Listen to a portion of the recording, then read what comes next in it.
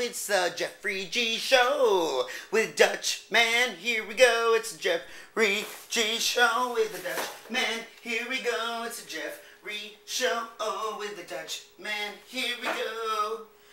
Good morning, everybody. It is Thursday, January 17th, 2013. This is Daily Talk with Jeffrey G, yours truly, and Dutch. Good morning, good morning, good morning. So, starting off with some bad news. My Scoot Scoot is not living much longer. It's starting to stall again at the red lights and stop signs and turning off and they cannot fix it and they recommend I buy a new scooter and stop spending money on this one. They did try to fix it and it worked for a second and then stalls out again. So it's unfixable, time to buy a new Scoot Scoot you know, and I'm like annoyed I gotta buy a new scooter, but I'm like over this one, so I don't even care anymore. Anyways, if you want to make a donation for me to get a new scooter, please send me a message. Thank you. American Idol was on last night. Uh, I don't know who watched. I loved it. Last year I didn't watch American Idol, or the year before. I got like out of it and I think the um, producers were very smart to put Minaj and Carey in there um, with their fighting, because that's why I watched it. And it seems like the show's more about the judges than it is with the talent, but I got sucked in because I didn't watch it last year. I thought it was boring. The year before that, I thought it was boring. But now I'm back into American Idol, so we'll see what happens. Um, I like the season. You know, we needed the, the Nicki Minaj, Mariah um, also, a new show I saw the other day, which I'm in love with, and I want everyone to watch it, is The Carrie Diaries. It's on the WB, and it's about Carrie Bradshaw, Sex in the City. Um, it's a prequel, so it's when she was a teenager, starting to go into the city. It's very good. I really like it.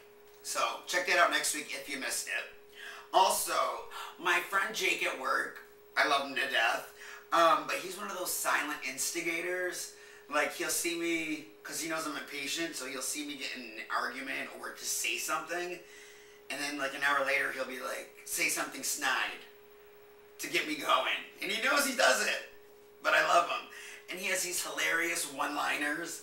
I mean, they're so funny. Love you, Jake. So, um, with my patience, I harass the bartenders to make the drinks quicker for my tables. Like I'll ring it in, and like yesterday, for example, the bartender's like, the ticket just printed. And I'm like, yeah, well, in New York, the drink would have been at the table by now. They don't get that I'm from New York and everything is so fast. And he's like, well, you're in Florida now. People like to wait. I don't, but whatever. I'm just trying to get my drinks out quick. For my guests, alcohol is important for some people.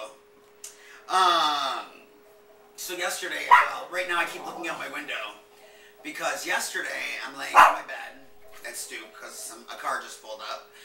I'm laying in my bed writing, um, writing. I was going to do the show, and all of a sudden I hear the dogs barking, and I'm like, what the heck? And um, in a little green underwear, smoking a cigarette on my computer, and I hear Jeffrey G Show. And I look out my big window, and it's the owner of my restaurant, Elliot. He thought I was filming and wanted to uh, be do a little guest guest appearance, but I didn't film yesterday. So hopefully maybe one day he can jump by when I'm filming. He gets the right timing. Right, Elliot?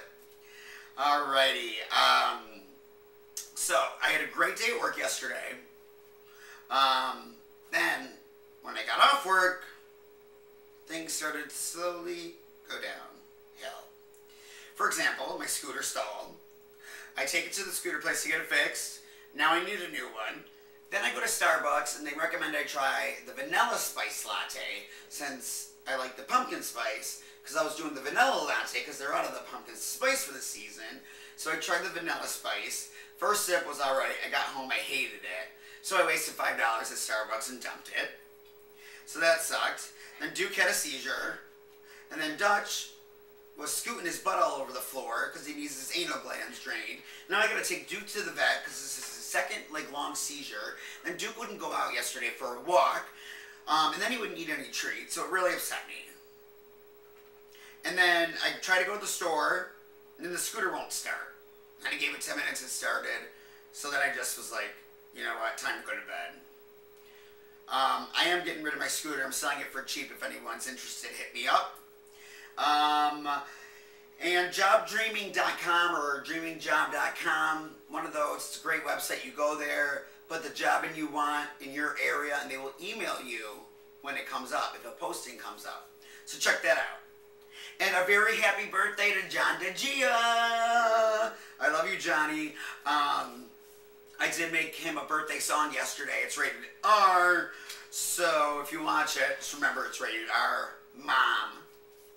But have a very happy birthday, Johnny DeGia, and I hope you saw my video and loved it. And again, people, it's jokes. I'm a comedian. So, then the night went worse. So after that, I get home. I'm like, all right, I'm in the house. Everything's fine. I'm filming the birthday song for John DeGia. My camera tips over on the tripod and breaks. It's the old camera, but I still use it. Annoying. Um, because I use the old one because it uploads quicker. The other one takes like an hour to upload. Whatever. So, Oprah tonight, 9 p.m. on OWN, Lance Armstrong interview. Alright, so 10 things that drive me nuts. Traffic. Number one. Two, long lines in stores.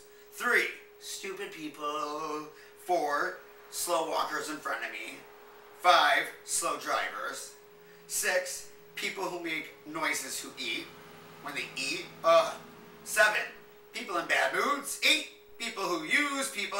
Nine, when I break things in my house. And ten, when I run out of things. Those are the top ten things that drive me nuts. So I'm sure you guys all drive me nuts with those. All right, we're getting into G-Spot News at first. Valentine's Day is coming out, so I bought this vanilla frosting that's pink. So good, so sugary. That's why I'm fat. I ate like 20 cookies. You don't want vanilla frosting? you kidding? I ate like 20 cookies with this. So, bum, bum, bum. See what he does with that.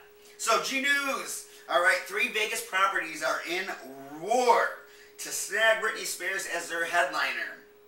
Caesar's Palace offered 200 million, but nothing is signed yet. So Britt walked away from X Factor for 15 million, and now she's getting 200 million dollar offers. What hotel will she pick, or will she not do it at all? Stay tuned, we'll find out.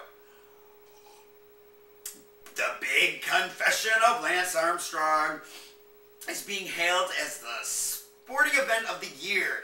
Everybody wanted to interview Lance Armstrong, including Barbara Walters and Diane Sawyer, but he chose Oprah!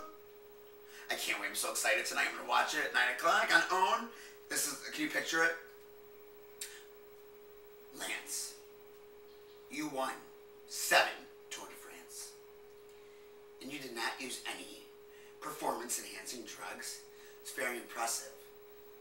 Is there a confession or anything you want to admit to me and to the world today? Yes, Oprah. I took performance-enhancing drugs. It's Oprah breathing. Wow. Wow, Lance. You took performance-enhancing drugs! Just kidding. But I can't wait to see it tonight. Edward Furlong is fired from his second movie for his domestic violence. Um, he beat up his girlfriend again, and now this is the second film he's been fired from. He should just hang out with Lindsay Lohan. Diff'rent Strokes star Conrad Bain dies at 89. And Miss Alabama, Katherine Webb, is covering the Super Bowl for Inside Edition. Congratulations to her. And we have Selena Gomez in leather, and she is doing a TV special for Wizards of Waverly Place, which I thought went off the air a while ago, but congratulations to her. And former American Idol Judge Kara DioGuardi is pregnant. Congratulations. Musical people usually have musical babies. And Khloe Kardashian Odom slams hurtful Lamar divorce rumors. They are not getting divorced, and Lamar did not cheat. Okay, people, leave her alone. And you have to go online to hear Samuel L. Jackson cover Taylor Swift's We Are Never Ever Getting Back Together. You know the song that goes, ooh, ooh, ooh, ooh, we're never, ever, ever getting back together. Ooh, ooh, ooh. I can't sing, but go online to see that. It's hilarious. And that's all for today. I'm Jeffrey G. This is the Dutchman.